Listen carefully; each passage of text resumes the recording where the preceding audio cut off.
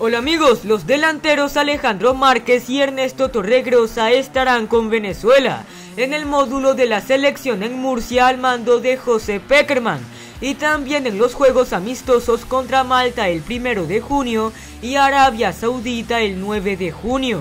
Según Kevin Urdaneta y Carlos Tarache, el módulo comienza el día de hoy. Márquez, que es jugador del Mirandés, nació en Venezuela y fue nacionalizado español jugó en las inferiores de La Roja. Márquez, que tiene 21 años, marcó 10 goles en 32 partidos en la segunda división española. Es ficha de la Juventus, pero jugó esta temporada a préstamo en el Mirandés. Torregrosa de 29 años que nació en Italia pero es venezolano por su padre. Juega cedido en el Pisa de la Serie B italiana. Su ficha es de la Sampdoria de la Serie A el delantero que marcó 7 goles y repartió 2 asistencias en la temporada. ¿Qué les parecen las llegadas de Marquesito Regrosa a la Vino Tinto? Su opinión en los comentarios. Otros que irán llamados con la selección para estos amistosos son Soteldo, Tomás Rincón, Salomón Rondón y Adalberto Peñaranda.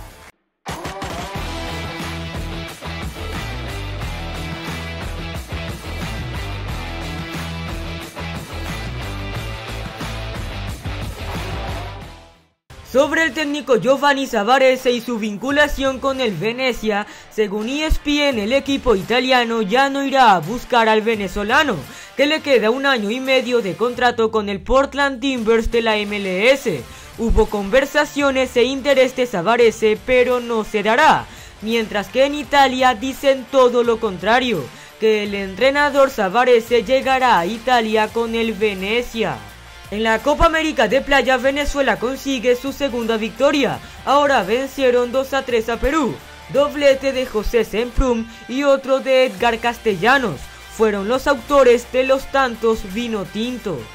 En Colombia, según la página rojiblanca, Cariaco González estará de regreso luego de su lesión. Volverá contra Unión de Santa Fe por la Copa Sudamericana. El mediocampista que ya entrena con sus compañeros Cariaco que interesaría a equipos brasileños, como reportó Mario Sánchez. En Estados Unidos, medios de ese país informan que mañana martes Jefferson Savarino estará incorporándose al Real Salt Lake, luego de resolver el papeleo de su visa, y podría estar disponible el sábado para jugar contra el Houston Dynamo, por la MLS. En la Liga Ecuatoriana, el Aucas de César Farías ganó 2 a 1 al Barcelona de Guayaquil. Con esta importante victoria son quintos en el torneo. El Aucas al mando de Farías han sumado 10 puntos de 12 posibles. En la Liga de Chipre, la Eglárnaca de José Romo y Roberto Rosales ganaron 1-0 y con esto quedan segundos en la tabla de posiciones y jugarán por primera vez en la historia la segunda fase previa de la Champions League. El Deportivo Táchira que mañana martes se enfrenta al Palmeiras por la Copa Libertadores. Robert Hernández que no jugará por lesión está en el once ideal de la jornada 5 de la Libertadores por su doblete contra Independiente Petrolero en Pueblo Nuevo. Hablando del Deportivo Táchira, el ex portero del equipo aurinegro José Contreras deja al San Carlos de Costa Rica. Según José Elio Suárez analiza oferta.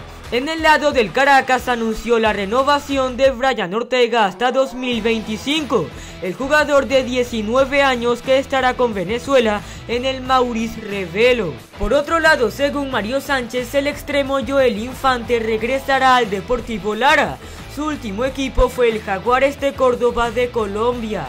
Gracias por llegar a la parte final del video. Recuerden suscribirse, darle like al video y compartirlo. En la próxima nos reencontramos con más información.